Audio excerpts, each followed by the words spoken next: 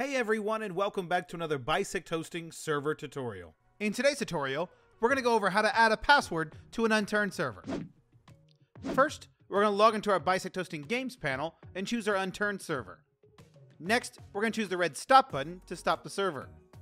We are then going to go to the File Manager tab.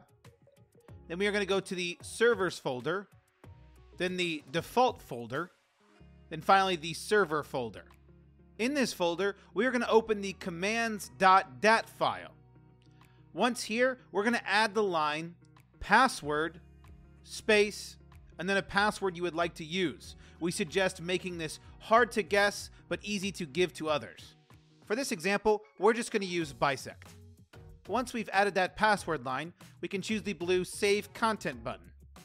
Once that's saved, we can go back to the console, start our server, and we will have a password that is required to join the unturned server. If you have any questions, check out our knowledge base, bisecthosting.com slash kb, or you can submit a support ticket on our website. If this guide was helpful, make sure you hit that like button, subscribe for more content like this, comment down below which guide you would like to see next, and we'll see you around.